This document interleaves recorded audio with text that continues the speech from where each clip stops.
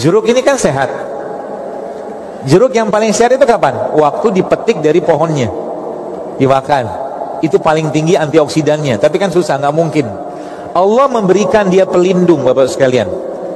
Yang melindungi isi jeruk ini. Dengan apa? Kulitnya. Oke? Okay? Lalu ketika kulit ini dibuka, maka oksigen datang. Teroksidasi dia. Oke? Okay? Berkurang nggak nilai gizinya berkurang. Tapi jangan dibiarkan lama-lama. Kalau sudah kayak begini langsung dimakan.